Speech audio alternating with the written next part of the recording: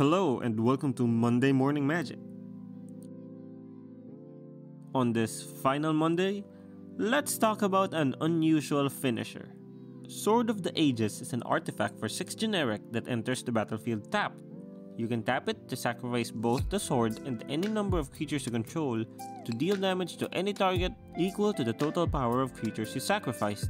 These creatures and the sword itself are then exiled. Now, this isn't exactly a fast win condition, costing 6 mana and coming in tap, but I think it's an interesting one. There are several ways to go about this. You could try and get out some very large creatures to sacrifice with the sword, such as Lord of Extinction or other such beasts as a lone sacrifice. Perhaps you can go wide with a bunch of goblins and sacking them all in one go. Or somewhere in the middle where you get some medium sized creatures and pump them up with some spells Again, it's not a fast or even effective win condition, but it's interesting. It's a bit whack and kind of jank, which might be similar to Monday Morning Magic in general.